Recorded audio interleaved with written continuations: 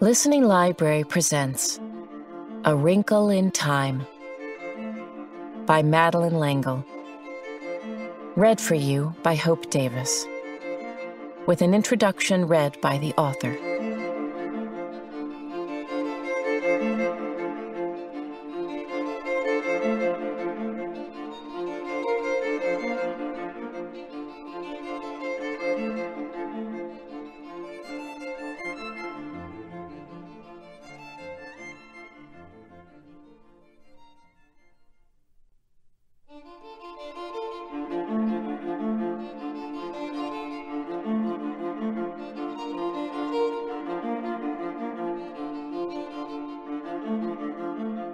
This is Hope Davis.